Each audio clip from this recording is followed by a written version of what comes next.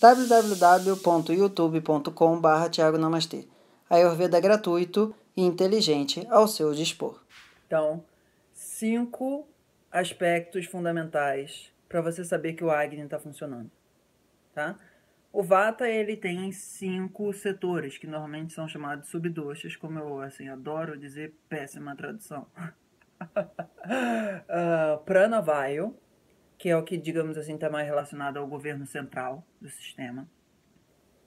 Samanavayu, que está relacionado mais, digamos assim, à área digestiva do sistema. Apanavayu, que está relacionado mais ao sistema excretório. O Danavayu, que é um, digamos assim, um, um vata que sobe, é um vata que, por exemplo, dá fala pra gente, etc. E uh, Viana Vaio, que é a capacidade do vata sair de um centro e pular para a periferia de uma forma bem rápida. É um movimento de, digamos assim, circulação arterial. Vamos colocar dessa forma, tá? Bom, então a gente tem, a partir desses cinco vaios, cinco ah, características importantes para determinar que a pessoa está com bom Agni. Em relação ao pranavaio, é fome certa nas horas certas. Ok? Isso significa acordar com pouca fome, aí depois que acordou ter um pouco de fome, aí na hora do almoço ter a principal fome, aí de tarde, no horário vata, ter algum grau de fome, de noite eventualmente ter muito pouca fome ou nenhuma fome. Isso é uh, ter fome certa nas horas certas. Ok? Isso está relacionado ao pranavaya. Se a pessoa, digamos assim, não está com isso funcionando muito bem, o Natshoda não vai ajudar. Tá? Em relação ao Samanavayo, é quando você está com fome, você senta para comer e você sente que durante a refeição você tem fome e durante a, a apetite que eu chamo, né, uh, você come, você tem conforto digestivo durante o ato de comer ok? E, digamos assim, imediatamente depois de comer. Isso está relacionado principalmente à ideia do Samanavaya, tá? Se você tá com esse, digamos assim, essa parte do Agni problemática, ou seja, sua digestão não está muito boa, não sei o que, aí vai ter o Kapalabhati, vai ter o Agni Sara, vai ter eventualmente alguma preparado uh, com ghee ou com gengibre ou qualquer coisa assim. Tem um vídeo meu que é uh, Receitas simples para um metabolismo, ajeitar o metabolismo. Receitas caseiras. Está na minha lista 2 do Ayurveda Vai Namastê Ayur Child. Tá? Então esse é o Samana. Que é um outro aspecto do Agni funcionar bem. Você senta para comer, aquilo dali você come bem e está feliz. E a princípio, meio que durante terminou de comer, não é tipo uma, duas horas depois. Uma, duas horas depois vai ser um outro elemento, tá? Em relação ao Apana, vai é evacuar todo dia e a qualidade das excretas. Então, não só exatamente o uh, purisha, que são as fezes, mas também mutra, que é a urina, e, eventualmente, em um certo sentido, a menstruação e o suor também. Tá? Bom, é, esses, digamos assim, são aspectos mais principais, mas tem outros dois que é relacionado ao Dana e ao Viana, que também é importante. O Dana é assim, uma hora depois de você comer, você precisa ter uma sensação de leveza. Você não pode, digamos assim, é, depois que comer, uma hora, depois você ainda está se sentindo muito pesada. E o dano também também está relacionado à característica de quando você dá, digamos, aqueles pequenos arrotinhos, não vir com gosto na comida, da comida, tá? Ainda que isso seja relacionado ao dano e ao samana, mas ok, essa característica de o arroto ser saudável, ou seja, sem o gosto de alho de três dias atrás ou qualquer coisa assim, é uma característica importante. Você, uma hora depois da refeição, está se sentindo, é, digamos assim, uh, saudável e você está sem, digamos, arroto com o gosto da comida do pepino, do pimentão que você comeu há não sei quantos dias atrás, ok? Em relação ao Viana, é a capacidade de você manter o teu peso minimamente estável. Por isso que, digamos assim, nesse sentido, é normalmente dito que os pitas têm um acne melhor, porque os pitas normalmente têm um, uh, um peso mais estável. Isso é uma das características importantes do acne, certo? Então, uh, toda a nossa rotina e toda a nossa alimentação e todos os nossos pranayamas e todo o que for vai envolver esses componentes. Um, pranavayu e a sua relação com Agni, que é principalmente a questão da fome certa, etc. Mas também está relacionado a, eventualmente, a, digamos assim, o que eu chamo, não o que eu chamo, né? O Ruguê já chama isso há mais tempo do que eu, eu acho que é uma boa uh, denominação, fome verdadeira e fome é, falsa, que eu chamo de vontade de comer, tá? Então, por exemplo, quando você está com falsa fome, vontade de comer, normalmente isso tem algum processo de ama dentro do teu sistema.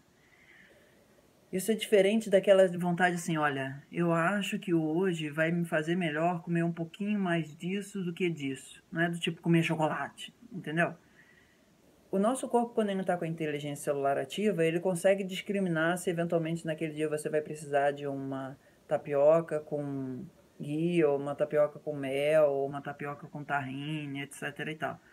Nesse sentido, a gente não está chamando isso de vontade de comer, tá? Ainda que isso, em algum sentido, também seja vontade de comer. A gente está chamando isso de, assim, escolha inteligente. Vontade de comer, a palavra em inglês para isso é craving, sabe? Você tá tipo, ah, cadê aquela macarronada? E só pode ser a macarronada e nada mais vai servir, ok? Bom, então, nesse sentido, a questão do pranavayu está muito relacionada ao nosso estado emocional e psicológico. Tem um vídeo meu que é a importância do estado mental na hora da alimentação. Eu acho que ainda está na minha playlist de nutrição ou qualquer coisa assim. Então, você fazer o Natshodana antes de comer, eventualmente você fazer uma prece, ajuda você a melhorar o teu pranavayu. Ok? Enquanto você está comendo, você não está, digamos assim, muito ocupado com outra coisa, sua principal função ser comer ajuda o teu samana vaio. Então, por exemplo, conversar muito, assistir muita TV, ou eventualmente estar tá muito vidrado num livro, estudando de uma maneira muito fundamental. Eu falo para as pessoas, você pode até estar tá conversando, você pode até estar, tá, digamos assim, só comendo é, comida, mas o mais importante é que você preste atenção na comida. Você preste atenção na tua barriga, como teu umbigo está dizendo, tô cheio ou não tô cheio? Entende? Então isso está muito relacionado à nossa capacidade de manter o nosso samana vaio, a nossa capacidade de estar em ordem. O chutney também está relacionado a isso.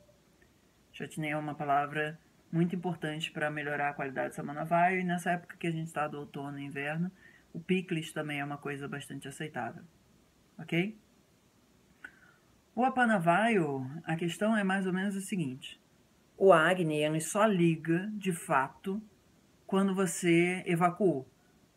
Então, existe uma relação importante do porquê que a gente deve evacuar antes de comer e por que a princípio isso deve ser evacuado antes do sol nascer.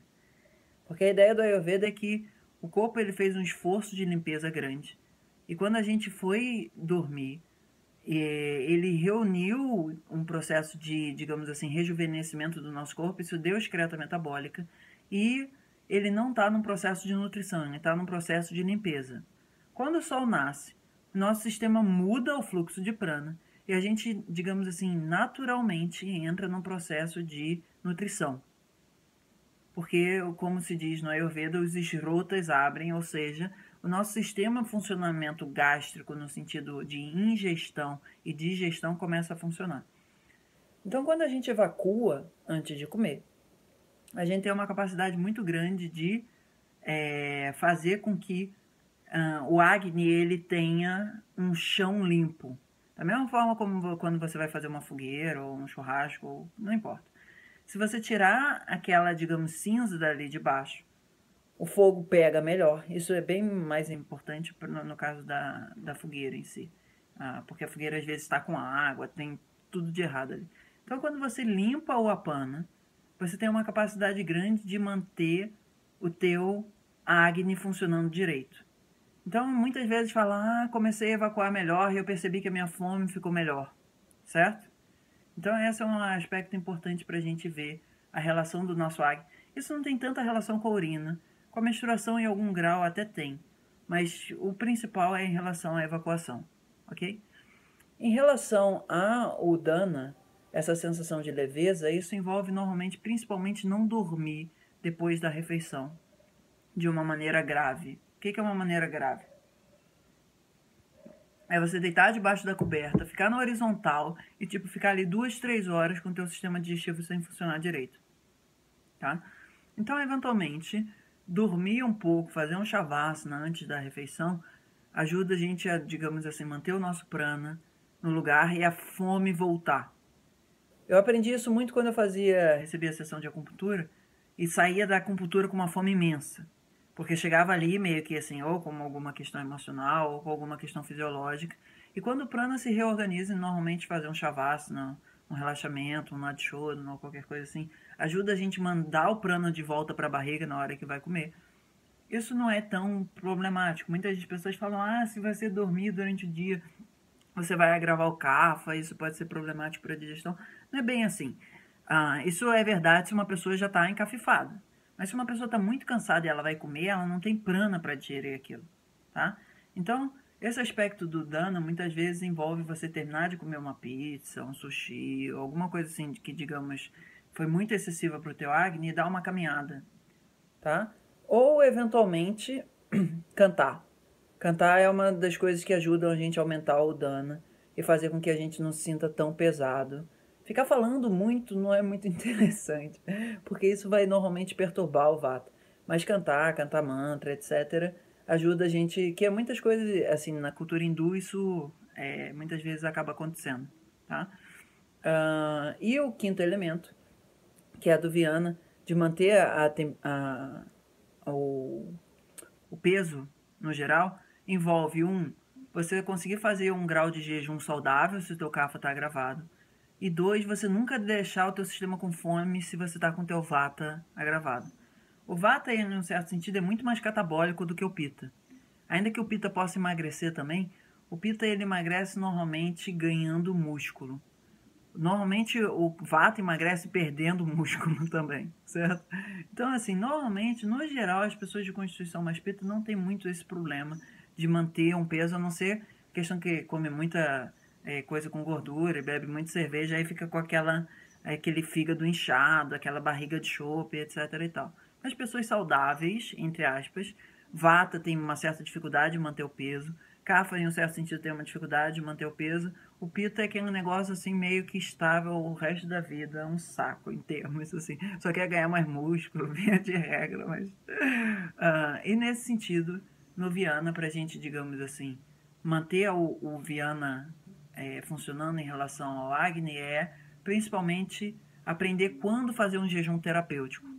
Aí tem vídeo lá na minha playlist do Ayurveda é, by Namaste 1, do miojo é, terapêutico, etc. Dessa noção assim de tipo, ficou meio gripado, não ficar comendo demais, dá tempo de o corpo restituir o sistema metabólico, é, limpar a ama, etc. Do lado, digamos assim, mais cafa, ainda que uma pessoa vata que esteja gripada vai fazer a mesma coisa. Vata eu quero dizer com desequilíbrio de vata, ok? E no caso do outro extremo, que é uma situação assim, muitas vezes bem calamitosa, é, que, digamos assim, tende a não aparecer tanto quanto as pessoas que querem emagrecer, mas é as pessoas desesperadas porque estão perdendo peso. Porque estão sempre fazendo um monte de coisa, não estão dando horário para comer, etc. Por mais que o horário do comer esteja mais relacionado ao prana, vaio, no sentido de fazer com que tenha fome certa nas horas certas, a falta de rotina também sacaneia o Viana e dificulta a pessoa a ganhar uh, peso quando ela está perdendo peso. Então, nesse sentido, para a pessoa ganhar peso, ela não pode ficar com fome quando ela está com fome, porque isso vai destruir tecido. E depois, quando ela comer, ela não vai conseguir transformar aquilo em tecido. É uma situação assim meio trágica. É, digamos assim, não tem tanta um, holofote quanto a questão do emagrecimento. Mas é um aspecto importante do Viana também nesse sentido clínico. Então, no nosso dia a dia, assim, só para a gente concluir essa parte, uma coisa que ajuda a gente a restituir o Agni bastante é entender a relação dele com o Prana. Na medida em que a gente faz Nadishodana, na medida em que a gente medita, na medida em que a gente faz Pranayama, etc e tal, isso ajuda o Agni a funcionar bem. Agni e Prana são dois elementos numa mesma corrente. O Prana joga ar no fogo, o fogo transforma a madeira, a comida, em, digamos, energia. Isso gera a capacidade da gente fazer mais vento para gerar mais, digamos assim, alimentação para o fogo. Então a gente sempre tem que, ao mesmo tempo, respirar bem e comer bem para se sentir vitalizado no nosso dia a dia. Show? E aí, quer aprender a cuidar da sua saúde também? Só entrar em contato através do e-mail ou do Facebook abaixo.